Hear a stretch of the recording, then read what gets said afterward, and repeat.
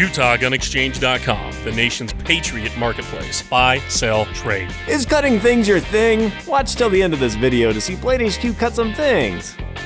I've partnered with Olight to bring you these videos and a special offer. Stay tuned. SHOT Show 2018, we're at White River Knife and Tool. We're back here with John. How are you, man? Hey, welcome, Shane. Thanks Hey. for coming by. Thank you for having me back. Now, um, we've got some updates to some of the stuff that you've had for a while and also some brand new stuff. I want to talk about all of them, man. Yeah, we'll start off with the Model 1 here, the knife that we started with back in 2011. All right. You'll be familiar with the Caper. It retails for 150 And that's our featured skinning knife. Mm-hmm. Then we released a backpacker, which you're familiar with as well. Yes. Which retails for 90 Yep. Nothing really in between, though. Nothing in between until this year. We wanted to come out with something kind of middle price range. So we have a bolt-on G10 scale version, offered in orange or black textured G10. Those retail for 115. Oh, yeah. Or if somebody owns a backpacker already and they want to get the bolt-on scales, they can order just the scale set uh, kit from us as well. Awesome. So the pattern of the knife, the pattern of the handle is all the same um, with everything that they've you've had Correct. from the beginning. Yep. So you can get just get the bolt-on handle scale and it's good to go. Exactly. That's great news. Yep. Uh, we've updated the sheath. As you know, this is the new Kydex sheath system. Uh, they got the belt cl- clip that can be mounted in various configurations, 45 degree or horizontal carry. Yeah. And we offered these in Kydex or leather in the past. If somebody does have a leather sheath, now they can buy the Kydex sheath from the website as well. Um, I like what you did with the, the Kydex here. We've got a great, great little, you know, it's a rivet point, but it's also kind of a little thumb ramp that I can push that out with. Yep. So very utilitarian, uh, very friendly for sort of EDC use and, and uh, basically anything. But uh, well done. Well, Yes, thank you. It's a very well redesigned sheath. I like it.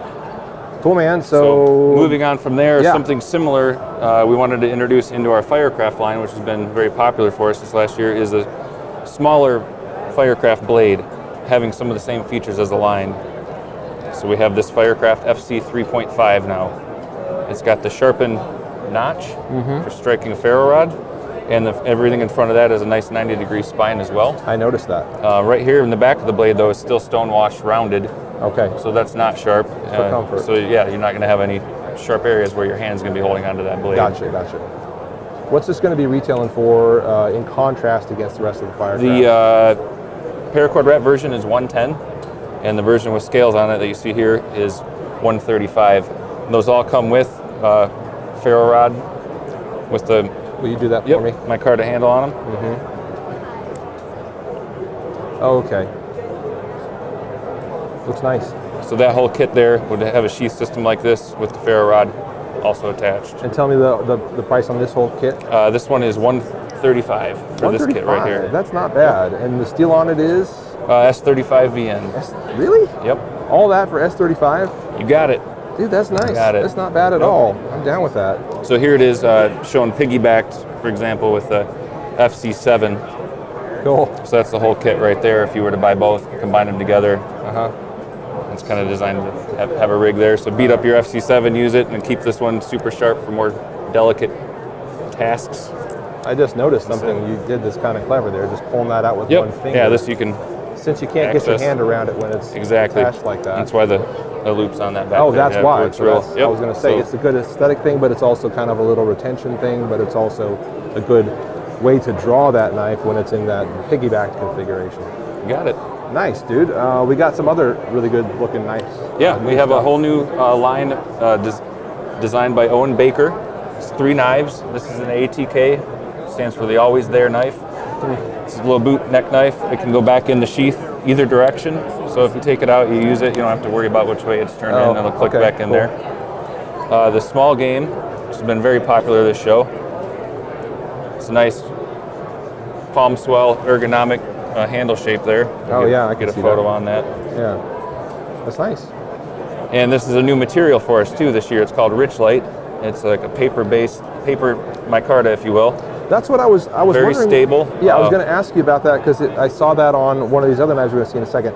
But Yep. I was like, that's that's, that's not like micarta. It doesn't feel like micarta. It's, something yeah, new. It's, it's a it's a paper. It's like What- a paper micarta. It's very rigid, very durable. Um, it's used in mu- musical instruments. They use it on X Games ramps. It's a it's a waterproof material. What musical instruments do they use it on? uh, like guitar fretboards. Oh, okay. So, Well, I guess that makes sense. Yep. Cool. We're using it on, on our knives place, now of, this year. in place of rosewood. That's Yep. So we have a standard uh, red, red and black coloring option, or the, the maple and black scales as well. Looks nice. Cool. So man. then a little bit bigger Skinner is the Hunter, uh, also available with a leather sheath. Uh, that's the leather sheath there, is it? Yeah, or this is Yep. for that guy. and There's the, these their go to Hunter in the guys. sheath there. Okay, I see it. And we Nice also have these all in our standard micarta versions as well, so you get it in green, black, or natural Okay. as well. Excellent. Yep. Good. Then moving over here, we got the, our camp cleaver, one of our most popular knives at the show here. Eye catching. Yep, design kind of like a Nessmuck blade shape blended with a cleaver. Yeah. Yeah. Um, it's just a really cool uh, tool for use, using around camp, whether it's doing working with wood or carving up potatoes or making food prep or whatever. right. So um, that comes in a nice leather sheath, set up like that. Store it that way, or hang it on a rusty nail in the cabin. Yep, there you Whatever you choose to do. Exactly. I like it. And that one looks like 230. 230, correct. All right. S35. That's S35 as well. Yep. All right, nice. Yep. This is the one that I was really attracted to um, when I came over to the booth initially.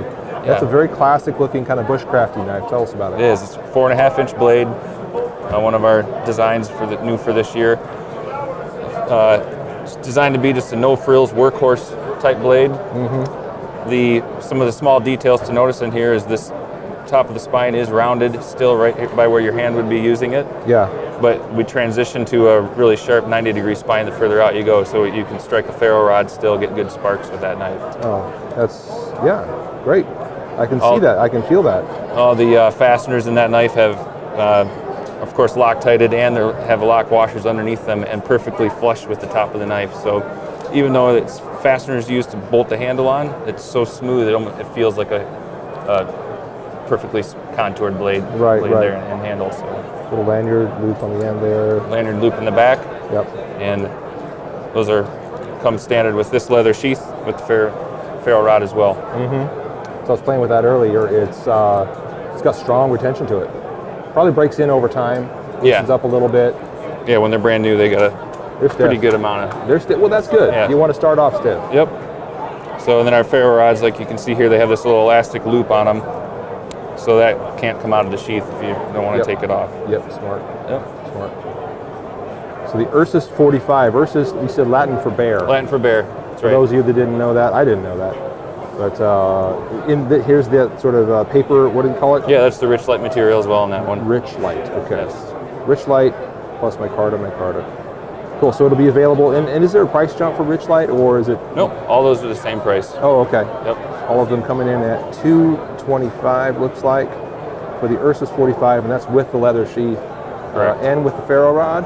And the ferro rod. ferro rod. rod's included, correct. So full package for right on, man. Yeah. I like it. Yeah, so um, it's all looking good. I'm particularly happy with you know sort of something like this that's very budget minded, like guys that are want to get into a very nice knife for uh, not a ton of money. Um, that is now completely squared away. 115 for this guy. Uh, I just love it. I'm going to be, be picking up a, a set of scales for myself because uh, I think it's worth kind of making that little upgrade to my backpacker. Um, and probably one of these sheaths too, because those are nice. I like them. Right on.